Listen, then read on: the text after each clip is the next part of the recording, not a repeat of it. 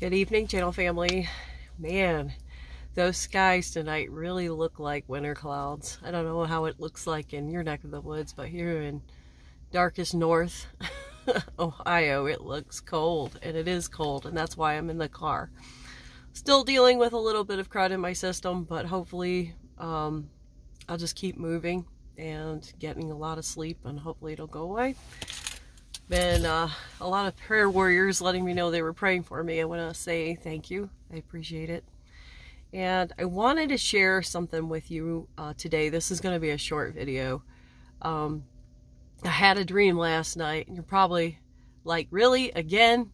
Um, but I feel such a strong urge to share this with you, and um, been holding on to it today and praying about it. But and it wasn't a very um, detailed dream. It wasn't even very a quick, uh, very quick dream but it was an urgent dream.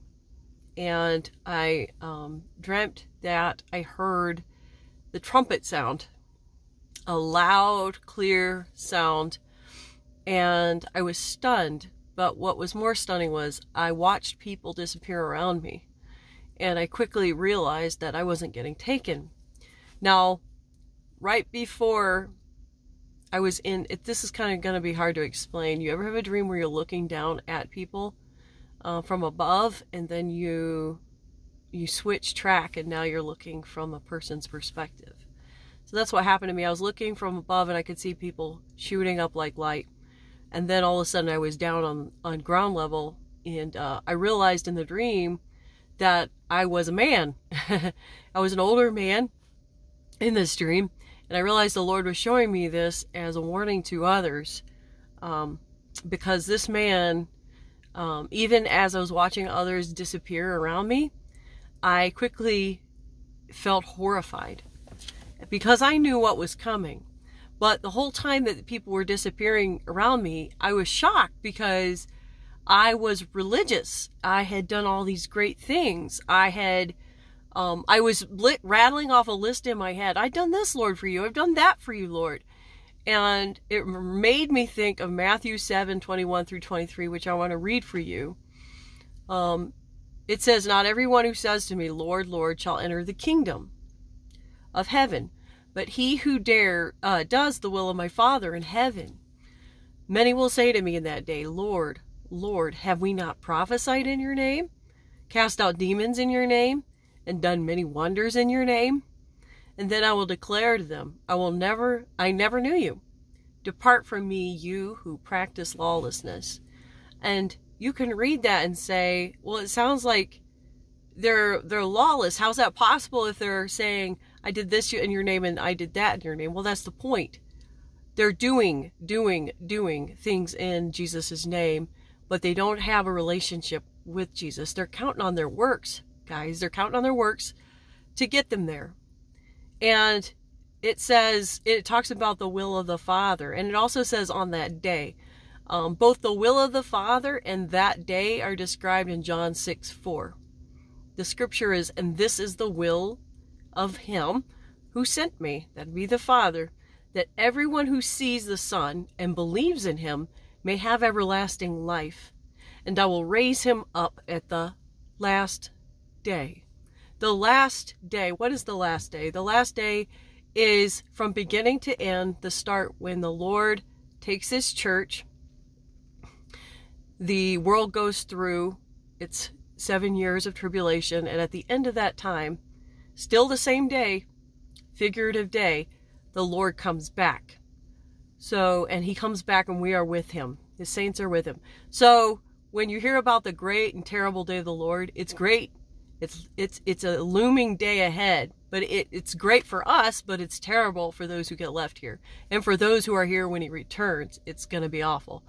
Um, I'd rather be behind him than facing him on my uh, steed than facing him. But also, um, there's this will of him who sent me. What's the will of God who sent Jesus? Is that everyone who sees the Son and believes on him will have everlasting life. So, you know, prophesying his name, seemingly this this other scripture passage in Matthew suggests that these people thought they knew the Lord. I mean, if you're doing something in someone's name, you're doing it um, as an ambassador or on a um, in in uh, what's what's the word I'm looking for as a representative of that person. So if you think you have power, and um, you know, it's interesting that um, people can think they have the power of God behind them, but it's something else. Uh, but if you think you can do all these things in your own strength, and you're represent, re- representing Jesus, but you don't have a relationship with Him, uh, I urge you to understand what it means to believe on Jesus for your salvation, and that means not only your your spiritual salvation, but also for the salvation that comes um, on the day that He calls us up, the bodily salvation. Uh, so you are you're erring when all when you um when all you're doing is doing doing doing doing. There is one thing you should do, of course, and that is believe on Jesus Christ for your salvation. Now, everything else, um, I've heard people say, yeah, of course you believe, but then after that, you got to do this to keep it. Um, now we're talking about maintaining our salvation instead of cultivating it and um, discipleship. And we've moved on past that point, and now we're saying, look, um, now to, in order to hold on to your salvation, you need to do this and this and this. And some people split salvation away from um, the rapture, but I think that is an error. And I just want to say why. And I love people who disagree with me. It's fine. But I cannot separate the two because Jesus says, not one that the Father gave me will um, will I lose. And so I have a hard time believing that if someone is saved and it says they're sealed into the day of redemption, um, they can turn around and be left behind and then be um, stuck having to choose whether or not they'll take the mark of the beast and therefore putting themselves in another um, situation where they could lose their salvation. And uh, it just the two don't mesh for i mean for whatever reason um, i think it's pretty clear that those who are his they go and i'm going to get a lot of backlash from that in this video i know i am um, but in this stream though i want to tell you the the fear that i felt as this person who thought he was doing everything right doing everything for the Lord, as unto the Lord, but didn't rely on the Lord. He relied on his works and then was left. It was absolutely terrifying. Absolutely terrifying. Um, you don't want to be here. You don't want to be one of the surprised flock. Um, those in the church who have been churched all their lives, only to realize that the one thing that you were required to do was to believe, and you didn't do that and have a relationship with Jesus. Jesus, um, Jesus will know his flock, and he's not going to lose one. I, I am imploring you to think about uh, your relationship with the Lord. To think about what motivates you. Is it the work that you're doing for Him, or is it the love that you have for Him? That's all. So, I'm probably going to get some flack for it, but this dream was so powerful and so visceral because I felt like I was really there and in it and experiencing the horror of it. And I just don't want anybody to experience that. Don't do that. While there's time, please give your life to Christ. Please understand that He died to save you and He loves you. And yes, he resurrected three days later. And we're going to get to experience that resurrection power and glory very soon when he calls us up. First the dead in Christ, then us. So I wanted to share that with you. I had a friend also that had a dream that he was on his last day of work and he was packing sweets of all things, which I think may represent rewards.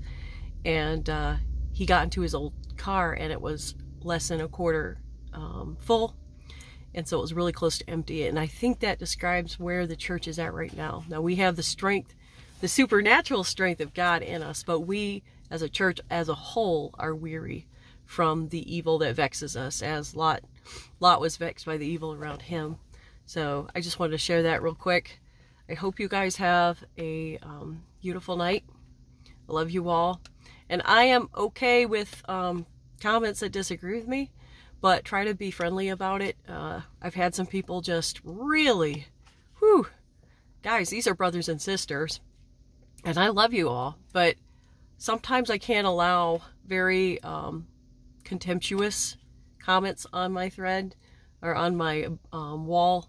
I know I've had, I've been talking to somebody who really thinks that um, that scripture that says many are called but few are chosen means that um, we're only chosen when we do what the Lord wants and not just um, not necessarily just believe on Jesus Christ for our salvation, but that we have to keep um, backloading it with works and maybe maybe we'll be counted worthy. Oh man, don't get me started on that scripture.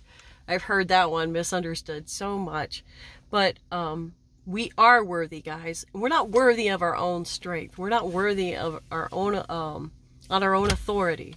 We're worthy when we place our trust on in Jesus and his righteousness is imputed to us, onto us. That's how we're worthy. When it says pray to be worthy, he was talking to the Jewish people and he hadn't died yet on the cross and he knew that day was coming when they would be praying for salvation and they would be receiving him in the future. It hadn't happened yet. Now we are to pray to be where as far as we should be ready. We shouldn't be living in sin. We should be ready to see him with a clear conscience. But just know that the only thing that makes you worthy is his righteousness, his righteousness imputed to you when you believe on him for salvation. So um, I know, like I said, I'm going to get attacked for this. Um, there are so many people on the um, in the uh, what's that one? What's that one uh, group? Not it's Grace Plus, but it, there's another word for it. Oh, um, Lordship Salvation, um, Lordship Salvation um, group, and I'm not trying to divide people into little groups, but if you um, disagree with me, you can email me and we can have a discussion about it. I'll leave my email address on here. But I just request that we keep it civil in the comment section. All right, I love you guys, and I'll talk to you later. Bye.